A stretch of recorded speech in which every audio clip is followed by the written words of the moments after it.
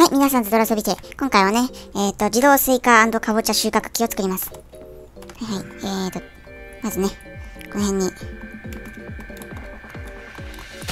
3マス。で、1、2、3、4、5。5マス開けて、またこんな感じで。地下でね、スケさんの音がしますけど、気にしないようにしましょうね。はいはい、えっ、ー、と、まあ、今回のね、スイカかぼちゃ自動収穫機は、えっと、オリジナルじゃないですからね。ほ、本を見てやってます。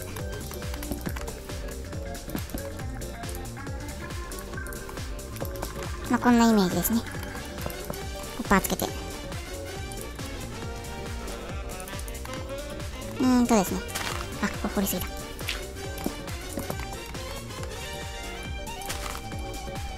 この辺りに、まあ、レールだね。はい、こんな感じです。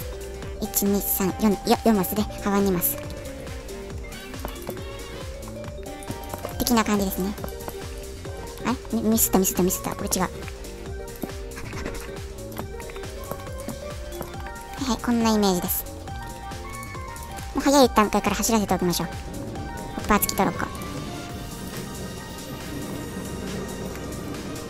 はい、まあこんな感じで少しだけうるさいですけど、まあはいはい。で、真ん中にですね、このようにブロック配置して、あ、こんな感じで、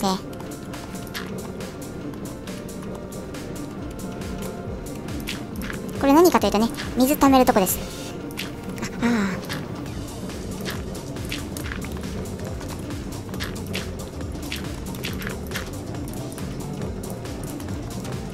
このようにね。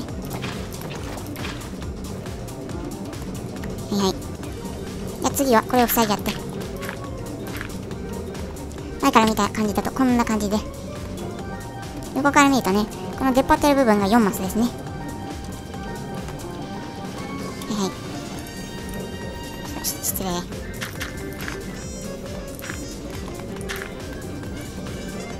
でですね次にこの出っ張ってる部分の上に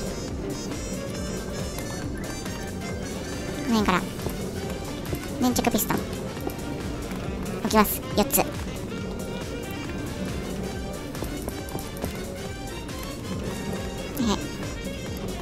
このようにね置きます。まあ、こんな感じでね土台を伸ばしていく感じです。ここ4マスね。1234 1234反対側も。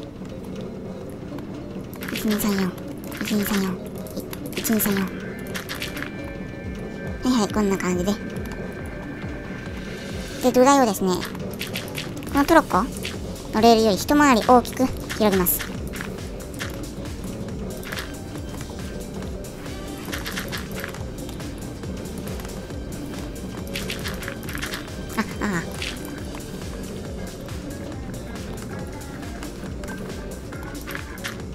はい。こんな感じでね。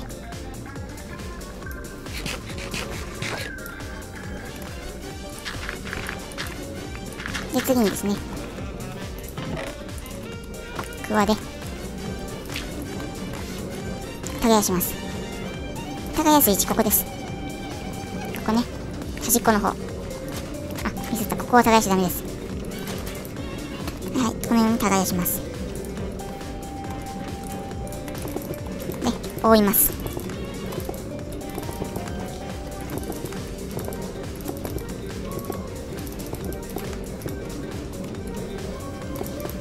でピストンの押すやつも。はいで次に赤石ですね。これもちろんね今回は4マスで作りましたがあの赤石の届く、まあ、リピーターとかで調整すれば、まあ、無限大ですね。私のサトウキビ工場みたいに恐ろしくでかい設備もできますので。はい、じゃあ次、回路ですね。ちょっと邪魔だね、これ。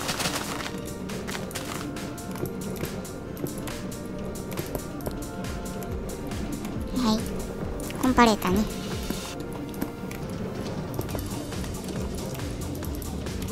で、ここに、日照センサー。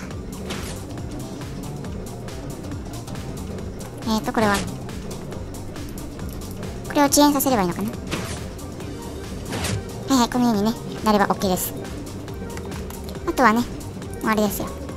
今回スイカかぼちゃ収穫機にしたんですけど、あの全部スイカとか全部かぼちゃにできますからね、全然。こんな感じで植えます。はい。あとはね、コップとかかければ、まあ、できるんだと思います。